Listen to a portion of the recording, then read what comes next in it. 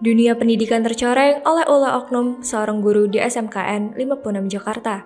Oknum pengajar di sekolah kejuruan di wilayah Jakarta Utara ini diduga melakukan pelecehan terhadap muridnya. Ada sekitar 11 siswi yang mengaku menjadi korban dari ulah guru berinisial HI ini. Kepala Sekolah SMKN 56 Jakarta menjelaskan kejadian ini terungkap saat ada korban yang melapor. Para korban mengaku oknum guru berusia 40 tahun ini melakukan tindakan tidak senonoh saat jam pelajaran. Mengetahui adanya kejadian ini, oknum guru yang bersangkutan segera dipanggil untuk dimintai klarifikasi. Uh, dia melakukan tindak pelecehannya itu seperti apa sih Pak? Mungkin bisa dijelasin gitu Pak. Sesuai dengan pelaporan dari siswa, itu memegang tangan, memegang bahu, uh, memegang paha, dan mengusap kepala. Itu. Tindakan itu dilakukan di ruang mana? Di lantai berapa Pak? Di lantai dua di ruang kelas uh, seni budaya. Kalau sampai, sampai saat ini penelusuran kasus sudah sudah sampai mana pak? Dan apakah pelaku mengakui bahwa perbuatannya itu di, diakui atau tidak? Untuk uh, penelur pengembangan masalah itu sudah kami uh, laporkan ke atasan kami dalam hal ini di Sudin uh, Dinas melalui Sudin Pendidikan sehingga itu sudah memenang beliau.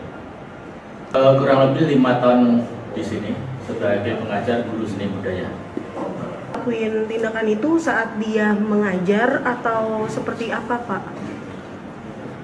Uh, sebetulnya kalau sesuai dengan pengakuan itu melakukannya itu tidak khusus tapi saat misalnya dia sedang mengajarkan memegang angklung Nah, saat mengajarkan megang angklung itu memposisikan tangannya, tangan si anak melihat anak dan tangan anaknya kepegang. Contoh case-nya seperti itu. Kalau dari korban sendiri mengadukan ini uh, guru tersebut sudah melakukan tindakan itu sejak kapan, Pak? Apakah baru atau udah sebelumnya udah memang udah lama? Sejauh ini dari data yang masuk saya belum dapat sejauh ini dari kapan. Hanya kemarin pada saat melapor itu langsung saat tindak lanjutin sehari itu langsung kami uh, lakukan pembinaan. 11 orang tersebut tetap belajar seperti biasa karena dari pertama sudah tak kuatkan mentalnya, tak terapi agar tidak trauma.